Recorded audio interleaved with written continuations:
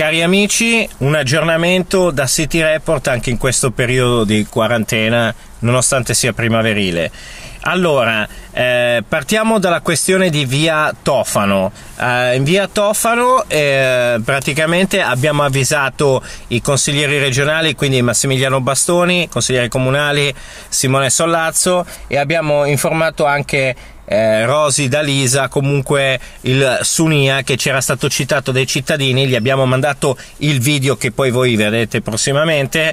Sulla questione delle torri abbandonate di via Tofano, queste due torri di 10 piani che molto probabilmente saranno anche eh, occupate o non occupate, comunque hanno la corrente elettrica attiva, hanno un sacco di rifiuti al piano di sotto, creano un sacco di disagio agli abitanti che ci sono.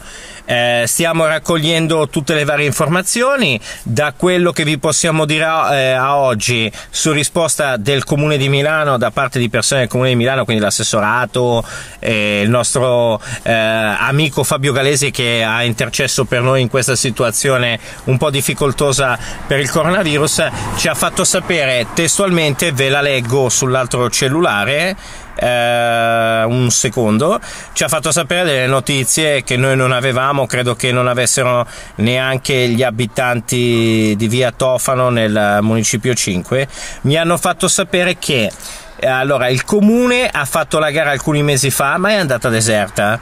Eh, quindi eh, abbiamo reinserito in PTO eh, le, in due fasi, prima abbattimento e poi ricostruzione, a differenza di prima in cui la gara era stata costruita come abbattimento e ricostruzione in un'unica gara. Ok, questa è la risposta ufficiale. C'è il coronavirus, sicuramente bisognerà aspettare per rispetto dei lavoratori, per rispetto dei malati, dei medici e infermieri che lavorano ci aspettiamo però di vedere qualche passo in avanti in questa situazione. Ma eh, non finisce qui. Eh, mettiamo un fermo a questa situazione di via Tofano, municipio 7, MM Case, e partiamo con un'altra situazione. Io ieri sono stato a fare un giro in diversi autogrill. Gli autogrill sono quelle strutture che stanno sulle tangenziali di Milano, anche nelle autostrade, eh, che tendenzialmente servono eh, tutti quelli che viaggiano. In questo momento chi viaggia, secondo voi? Viaggiano quelle persone che ci vengono a portare da mangiare e da bere con i camion, i bilici, eccetera. Eh, per rifornire i supermercati.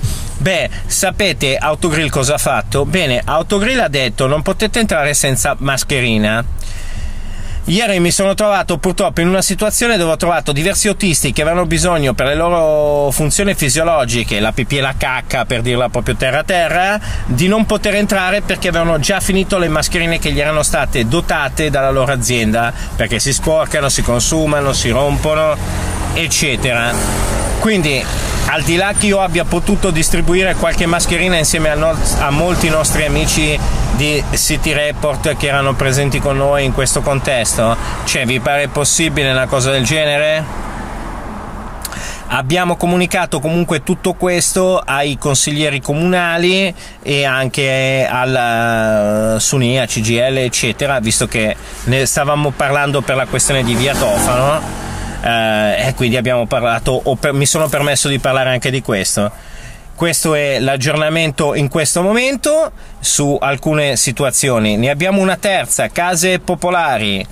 In questo momento solo Aler, però attenzione, non è detto che non ci sia anche in MM qualcuno che faccia il furbo nonostante ci sia la polizia locale, come dice qualcuno, che è più attiva in questi quartieri, si stanno creando degli assembramenti e in questi assembramenti ci sono addirittura persone che hanno creato dei bar abusivi dove addirittura forniscono bibite fresche, sedie, panchine e addirittura qualcuno il caffè attaccato a un generatore che fa il caffè appunto con le macchinette Nespresso, quelle che conoscete anche voi. Questo era quello che mi sentivo di dovervi dire. Stiamo arrivando a Pasqua, eh, speriamo che finita l'emergenza del Covid-19 e finita eh, tutta questa emergenza che c'è intorno, di poter prendere provvedimenti in queste situazioni, perché comunque in questo momento la situazione del virus ci sta facendo capire ancora di più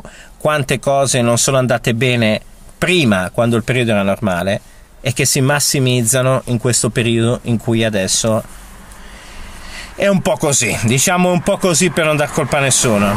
Va bene, per ora vi saluto, uh, grazie di avermi ascoltato, uh, salutiamo tutto lo staff, i membri della City Report, i nostri amici e da Tullio Trapasso un saluto, City Report. Seguiteci, non vi molliamo.